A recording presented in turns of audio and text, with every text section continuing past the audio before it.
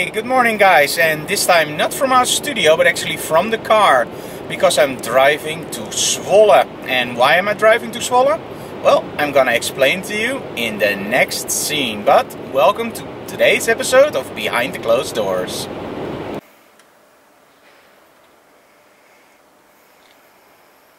Hey, so why am I in Zwolle at DHL? Very simple. We have a new package in. Normally I'm not this kind of guy that will actually drive to Zwolle to pick something up. But seeing that today we leave for Photokina and that actually yesterday we got a message from Apple that my new iPhone 7 Plus was being delivered today. We checked online and actually the delivery time was between 2 and 6. And Zwolle is only half an hour away, so I just decided, you know what, jump in the car and get the iPhone. So I can use it on Photokina and give you my opinion on it, because I'm very, very curious about the new camera. And, boys and girls, here it is, the new iPhone 7 Plus. And I actually went for the normal black, so not the shiny one. So, quickly going home, make sure that the iPhone is transformed to this one, in other words, get all my data on this one, and then leave for Photokina. Okay, I'm back in the studio, and we're first gonna make a backup of my old iPhone, put it in a new one, and then we're gonna leave for Photokina. But I have something else I want to show you guys. This will be the set of something we're working on. It's still very much in, well, in my mind, but we're gonna do some really cool stuff here, maybe even during Digital Classroom. And these are our first two guests. Oh, I already said too much. Okay, so here we have the iPhone 7 Plus. Looks pretty similar to the old one, of course. And this is in the box, the charger and AirPod, uh, not AirPods of course, but the ones with the wires. And this is very handy. I really expected Apple to be selling this separately, but it's really cool that they included it in the package. And I think otherwise they would have got a storm of uh, responses from people. But anyway, so this is in the package and the USB cable. So everything is nice and neatly packed and I hate unboxing videos but I actually have to wait for the backup so I thought let's show you guys what's inside. Now one of the things that I don't get is why you still get those earplugs with your iPhone. For the very simple reason I use my own headphones and I actually never used the Apple ones but I just like my own better. And to make sure that mine will work I actually ordered an Adapt and it's a really cheap device, it's about 19 euros and it will make my headphones into Bluetooth including connections for forward, backward, pause and of course pick up my phone. So that one will arrive today but I will see that one when I'm back from Photokina and I will let you guys know how that one works out. But first I'm gonna focus of course on the new iPhone and its camera because that's why I actually upgraded. First thing I always do when I get a new iPhone is make sure that the glass is protected. Uh, I had some bad experiences in the past and these things actually work pretty good. Now in the past we used Rhino shields, but somehow if you also look at my older iPhone, they always came loose and well, they started out really great, but I think the later incarnations aren't that good. But hey, that could be me. And a week has no problems. And now I tried the BodyGuardz. So it's the Pure 2. I don't know if it's better or worse, but we'll see. And of course, temporary. I'm going to use the cheapest cover I could get just to make sure that it's uh, safe. And as soon as Otter releases it, I'm using the Universe OtterBox.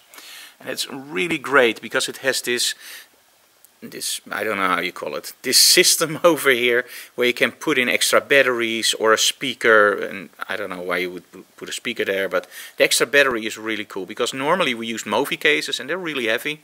And in this way you just use your normal iPhone case. And normally there's a slider in here so it doesn't look this weird. And as soon as your battery runs empty you just plug in the battery and you take it out as soon as it's um, full again.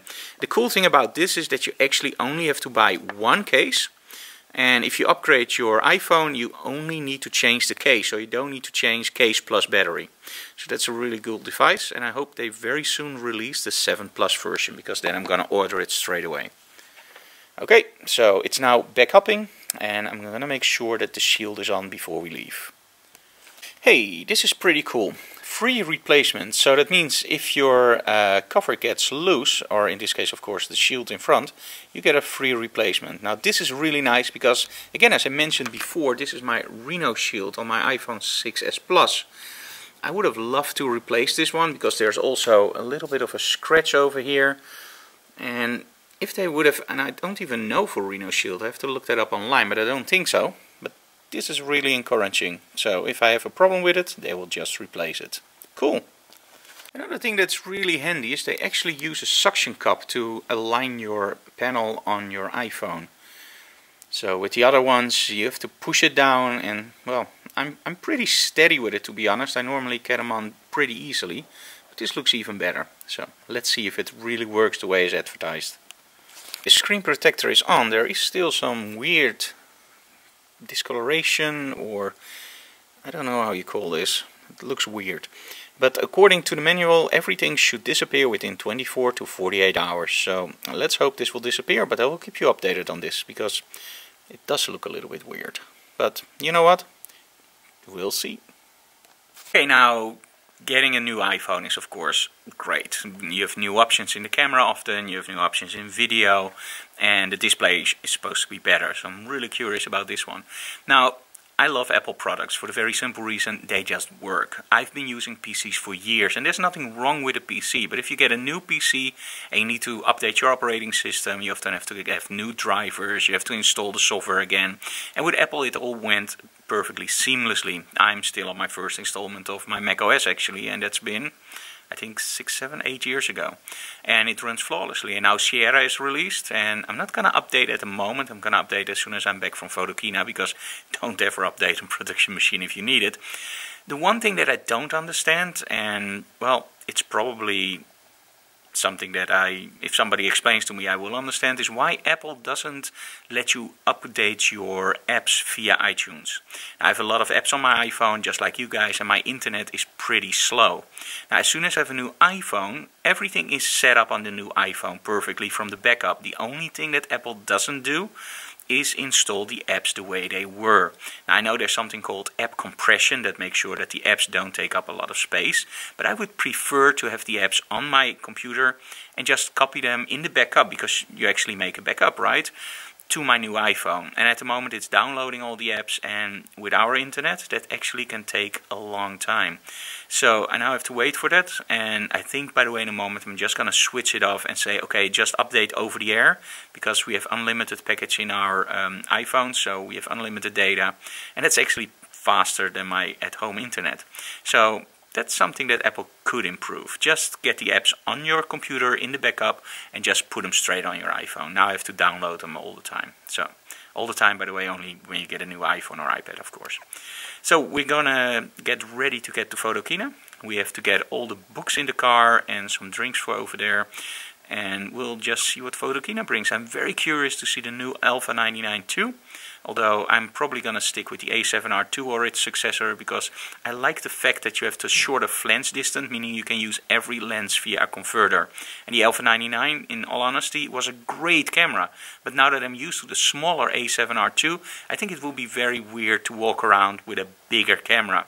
Because every time now I hold the bigger cameras, I still think, why are they so big? Because the A7R2 with the grip is actually pretty cool in my hands. It feels like a real camera. And remember, in the old days, the, cam the cameras weren't that big. If you look at Pentax or Praktica or Leica, they were all the same format that now actually the A7R2 has. So, very curious about Photokina. So we're gonna drive there now and check in the hotel. And then tomorrow, the first day at Photokina, and I will be speaking at the BenQ booth. So make sure you drop by. So join us to Germany, Köln, for the Photokina. Okay, we arrived in Cologne for Photokina, of course. This is our hotel. But first we're gonna grab something to eat in the city and visit the store. Okay, we arrived at Pinup Comics so they should have a great collection of also English comics. So let's go inside and see what they have to offer.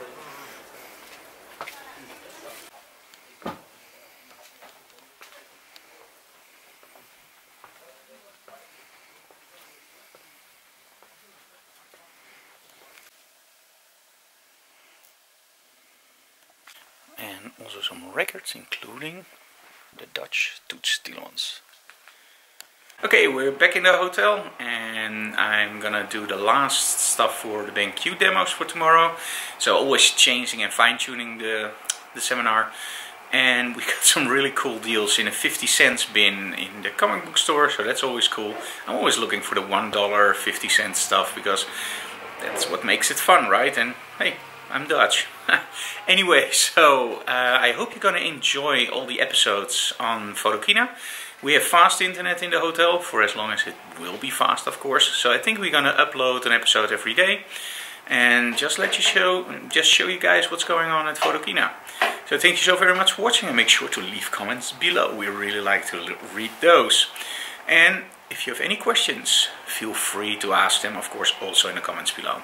See you tomorrow. Have a nice evening. Bye bye from Germany.